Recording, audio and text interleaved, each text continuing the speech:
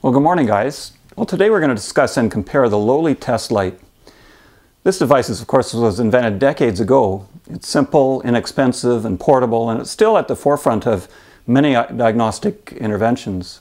Most importantly, the automotive test light tests the system dynamically, often bringing to light abnormalities in the system that wouldn't otherwise be visible with static testing. But that strength is also a weakness, since a test light depends on a minimum current to turn on. And that current can damage structures downstream or maybe activate downstream devices that you don't want activated. For example, if your test light draws significant current, that current might be high enough to turn on a fuel injector, filling the cylinder with gasoline and risking a hydrolock.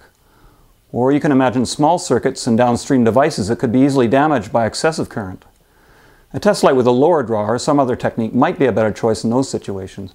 So it's worthwhile documenting how much current your test light draws when you put it into a circuit. It may come as a surprise to you to learn that each test light has its own personality, and so it's wise to spend a few minutes understanding something about your device. Today I'm going to do some comparative testing on three different test lights. One way to assess a test light is to measure static resistance. However, the resistance of a light bulb varies depending on the current going through it, usually rising as current rises. As the filament heats up, resistance increases. So the best way to measure that kind of resistance is to measure amperage at the voltage that you're using it at and then calculate dynamic resistance from Ohm's law. So for convenience, I'm going to use a bench power supply, but you can still do this kind of testing with a 12 volt battery and an ammeter. This is the voltage applied, and this is the measured current that's going through the circuit. One way to assess a test light is to uh, measure the minimum voltage that results in a light that turns on. And in this case, my minimum voltage is about 2 volts before I see that light turn on in daylight.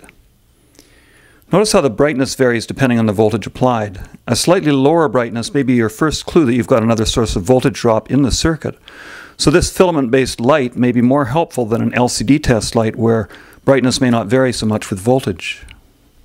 Okay, now let's test this light a little further. Let's raise the voltage up to the level typically seen in a vehicle at 12 volts. And we'll see what our current draw is at 12. So 12 volts, we're getting about 240, 250 milliamps. So when I use this light on a vehicle, I have to bear in mind that the downstream structures will be subjected to that current. Of course, if there are further points of resistance downstream, the draw might be lower, compensating for a higher total resistance. But the draw is not likely to be higher than about 240, 250 milliamps with this test light. Okay, so I've got a second test light hooked up here, and I'm going to do the same thing. I'm going to raise the voltage and you can see the lights turning on. And there we are at 12 volts. And in this case, we've only got 80 milliamps going through the circuit.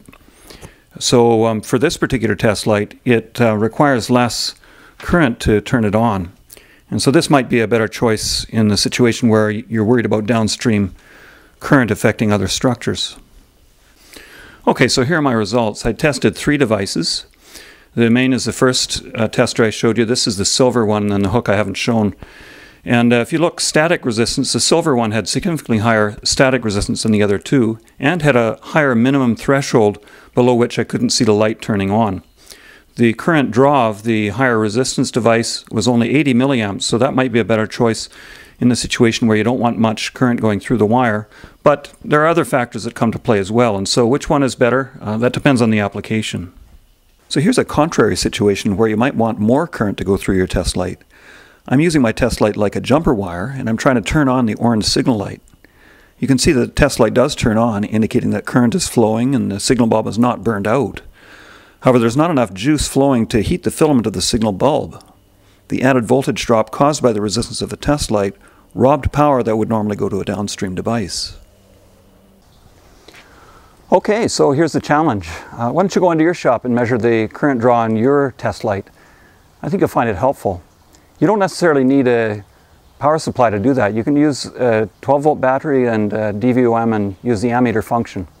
So if this video helped you out and you want to see more of them, then hit like or subscribe or leave a comment. I'd love to hear what others say. Thanks for watching.